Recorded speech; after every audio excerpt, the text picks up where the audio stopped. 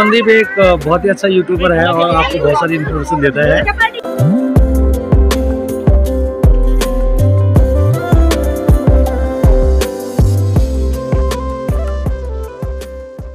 सो so, hello दोस्तों नमस्कार। मैं मनदीप स्वागत करता हूँ आप सभी का एक और ब्लॉग में। और फ़िलहाल अभी आप देखोगे तो बढ़िया धूप आ चुकी है अभी और आज सूर्य देव के दर्शन भी हो चुके हैं। फ़िलहाल तो अभी दोस्तों आज हम बनाने वाले हैं कुरियाल के परांठे। और कुरियाल क्या होता है वो आप देख लीजिए, कुछ इस प्रकार से उसके फूल होते हैं, कुछ इस प्रकार से उसके कलियाँ होती हैं। जो कलियाँ होती हैं दोस्तों, उसके तो सब्ज़ी बन जाती है, जो फूल होते हैं उसके परांठे बनते हैं।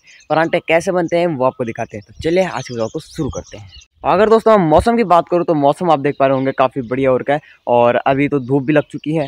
फ़िलहाल अभी मैं लकड़ी लेने जा रहा हूँ, जैसे कि मैंने आपको बताया था, अभी बाहर पर हम बनाने वाले हैं तो अभी चूल्हा जलाएँगे तो लकड़ी ले जाते हैं। दोस्तों यहाँ पे हमने कुछ मिर्च के पौधे लगा रखे हैं, और यहाँ पर आपको दिखाऊँ तो यहाँ पे फ्रास बीन है जिसपे कि फूल भी आ चुके हैं, और इसके बगल में आपको दिखाऊँ तो लहसुन है, और वहाँ पर भी लहसुन है। और जो लास्ट वाला है, वहाँ पर हमने कुछ बीज बोए हैं भिंडी के जो कि आ भी चुके हैं अभी। तो दोस्तों मुझे लकड़ी ले जानी है यहाँ पे से। और आपको दिखाऊँ तो यहाँ पे देखिए लकड़ी है। तो इसी को मुझे ले जाना है। तो चलिए अभी नीचे ले जाते हैं इसको।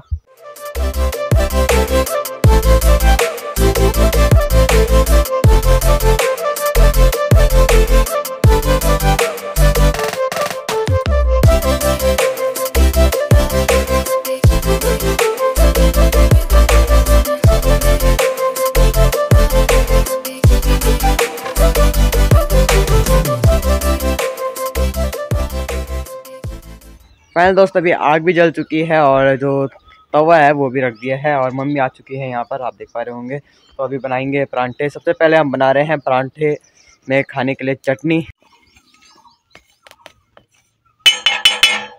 तो फाइनल दोस्त अभी मम्मी यहाँ पर बैठ चुकी है परांठे बनाने के लिए और अभी पूछता हूँ मैं क्या क्या रखा हुआ है यहाँ पर। तो देखिए मम्मी फूल कहाँ है फूल थे जिसके परांठे बनने थे। ये। ये तो आटा लग रहा है। आटा नहीं है ये फूल है ना कचनार के। अच्छा। कुरियाल। कुरियाल के फूल। हम्म, वो उबाले उनका एक्स्ट्रा पानी निकाल दिया दबा के और फिर उसको मैश करके उसमें धनिया प्याज मिर्च नमक मिला के मसाले मिला के ये ऐसा डो बन गया उसका।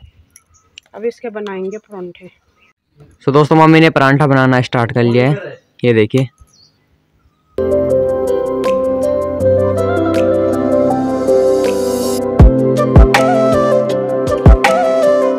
तो दोस्तों जो एक कुरियाल है, ये मैं आपको बताऊँ तो जो हिमालय क्षेत्र होते हैं, वहीं पर होता है। बट अगर ज़्यादा ही ठंडा जो इलाका है, वहाँ पर आपको ये देखने को नहीं मिलने वाला।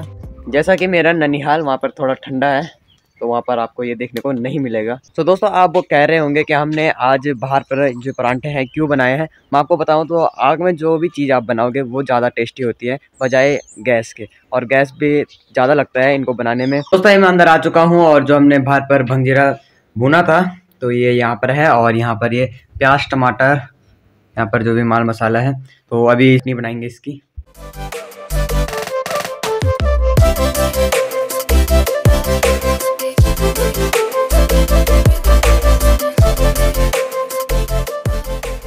तो so, दोस्तों अभी चटनी भी बन चुकी है और अभी मैं आ चुका हूँ बाहर और यहाँ पे बन रहे हैं परांठे।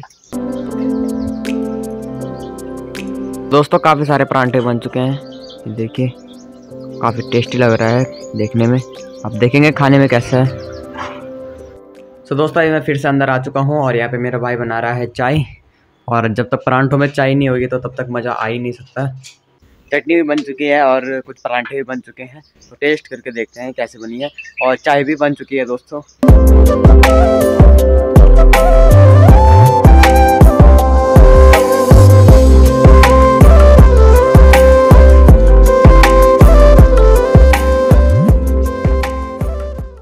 दोस्तों, अभी सभी खाने लग चुके हैं। मैं आपको दिखाऊँ तो यहाँ पे मेरा भाई बैठ चुका है और यहाँ पर पापा बैठ चुके हैं। तो अभी खाने का टेस्ट पूछते हैं। तो पापा बताएँगे हमें खाने का टेस्ट किस प्रकार से है। देखते हैं। बहुत ही स्वादिष्ट हो रहा है बहुत ही बढ़िया बाहर पर ही हमने बनाया है और बाहर पर बैठ के ही हम खा रहे हैं। मैं भी बैठ जाता हूँ और मैं भी खाता हूँ अभी।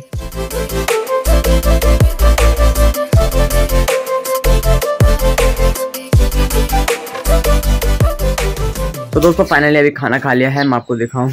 तो अभी हम बैठे थे यहाँ पर। काफ़ी मज़ा आया बाहर पर खाना खाने का, जो आनंद है, काफ़ी बढ़िया है। तो आप भी बना सकते हो, काफ़ी टेस्टी जो है, परांठे हुए हैं। दोस्तों, अभी शाम हो चुके हैं और अभी हम जा रहे हैं एक पार्क में, जो कि रुद्रप्रयाग में बना है। तो देखते हैं किस प्रकार से पार्क बना है। बाकी अभी आप देख पा रहे होंगे, धूप तो पूरी जा चुकी है और पूरा अंधेरा टाइप का होने लग चुका है। तो बैठते हैं अभी गाड़ी में, दोस्तों। तो दोस्तों, एक पार्क में मैं अभी पहुँचा हूँ और ये पार्क में मैं पहले भी आ रखा हूँ, अगर आपने वो ब्लॉग नहीं देखा है तो जाके उस ब्लॉग को भी ज़रूर देखिएगा। तो कुछ प्रकार से वो पार्क है, देख सकते हो आप। तो फाइनली अभी मैं जा रहा हूँ रुद्रप्रयाग वाले पार्क में।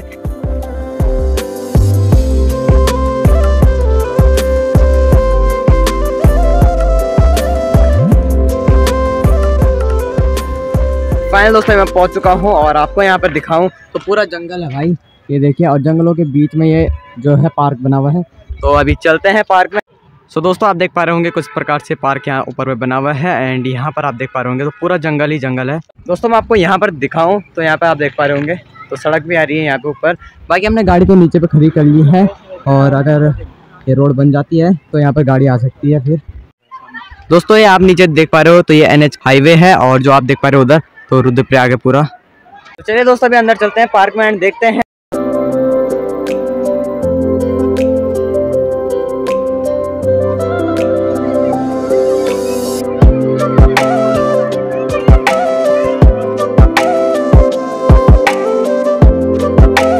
दोस्तों अभी आप देख पा रहे होंगे, जो पास के लोग हैं, वो काफ़ी लोग यहाँ पर अभी आ रखे हैं घूमने के लिए। और दोस्तों, जो ये पार्क है, ये रुद्रप्रयाग में है, केदारनाथ हाईवे के पास पे।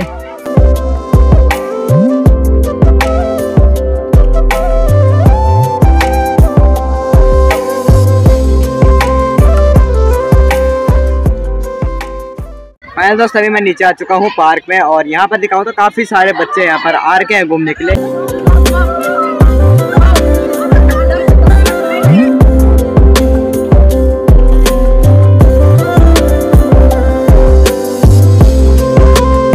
दोस्तों, काफ़ी बड़ा पार्क है ये, आपको मैं दिखाऊँ। तो यहाँ पीछे से आप देख पा रहे होंगे, यहाँ पर से, और यहाँ पीछे तक काफ़ी बड़ा पार्क है, और काफ़ी लोग अभी घूमने भी यहाँ पर आ रखे हैं।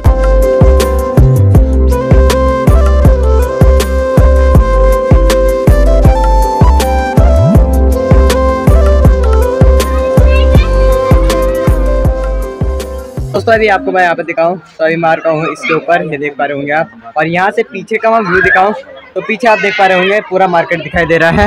ये देख पा रहे होंगे आप तो पूरा रुद्रप्रयाग मार्केट है। जो दोस्तों, ये पार्क है काफ़ी बड़ा पार्क है, आप देख पा रहे होंगे।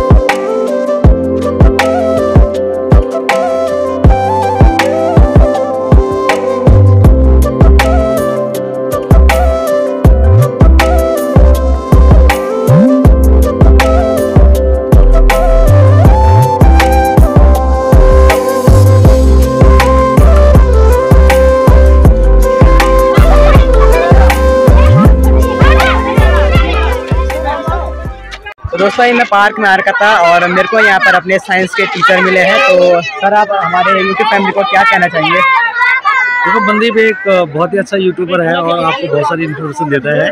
आज ये पार्क में आया है तो बहुत ज़्यादा भीड़ है। वास्तव में रुद्रप्रयाग का एक ऐसी जगह चाहिए जहाँ बच्चों के खेलने के लिए एक अच्छा प्लेस है और इसके चैनल को लाइक सब्सक्राइब और हमेशा देखते रहिए और इसको प्यार दीजिए आशीर्वाद दीजिए। थैंक यू सर दोस्तों, आपको ऐसे ही पार्क हमारे घर के सामने पे भी देखने को मिलेगा। हमारे घर के सामने पे कुछ इसी तरीके से पार्क बना हुआ है। बट वो जो है थोड़ा छोटा पार्क है और ये आप देखोगे तो इसकी लेंथ बहुत ज़्यादा है, आप देख पा रहे होंगे। यहाँ से लेकर और वहाँ तक, काफ़ी दूर तक ये पार्क बना हुआ है। चलिए दोस्तों, अभी चलते हैं घर की ओर। सो दोस्तों, अभी मैं आ रखा हूँ रुद्रप्रयाग के डीएफओ ऑफ़िस में और यहाँ पर ऑफ़िस भी है और रेजिडेंस भी है। दोनों चीज़ यहाँ पर है और आप मेरे पीछे देख पा रहे होंगे क्या कलाकारी यहाँ पर दिखा रखी है। यहाँ पे बाग बना रखा है और इस साइड में आपको दिखाऊँ तो यहाँ पे हिरन और भालू बना रखा है। तो काफ़ी बढ़िया है और यहाँ पे जो मैंने आपको बताया, रुद्रप्रयाग का डी एफ़ ओ ऑफ़िस के साथ रेजिडेंस भी यहीं पर है। सो दोस्तों, ये है मेरी स्कूल आप देख पा रहे होंगे, यहाँ पे थोड़ा दिखाई दे रही है। यहाँ नीचे पे ये रुद्रप्रयाग संगम है, यहाँ पे दो नदियाँ मिल रही हैं, मंदाकिनी और अगलंदा एंड दोस्तों, मैं यहाँ पर आपको दिखाऊँ तो पूरा रुद्रप्रयाग मार्केट यहाँ से दिखाई दे रहा है। और दोस्तों, यहाँ नीचे पर ये है रुद्रनाथ मंदिर। Thank you.